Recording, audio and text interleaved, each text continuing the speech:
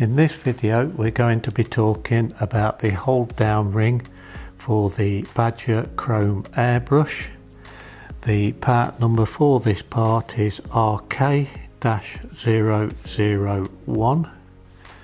To remove and refit we take the handle off so we can remove the needle so as not to damage it remove the spray regulator. Remove the hold down ring which holds the tip in place. So this is best done in the middle of a table so that the tip doesn't bounce off hit the floor never to be seen again. This is the hold down ring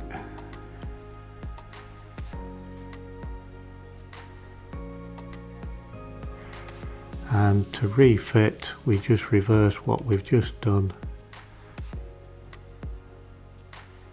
Carefully screw the hold down ring back on. Finger tight only.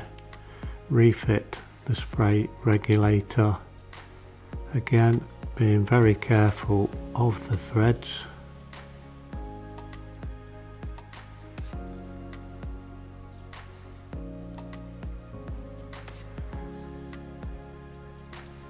make sure the trigger is sitting correctly.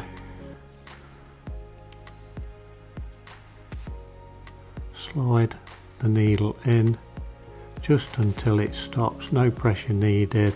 Lock it into place. Refit the handle. And that is the hold down ring for the Badger Krome airbrush Thank you for watching our video. If you find them helpful and informative, please give it a thumbs up and subscribe to the channel.